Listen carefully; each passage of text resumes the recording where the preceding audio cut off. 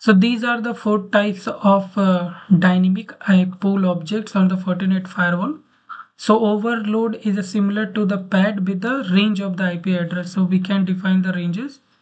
So 40.10 to 40.20 means that 20 ip addresses are used but those all are for the extended PAT.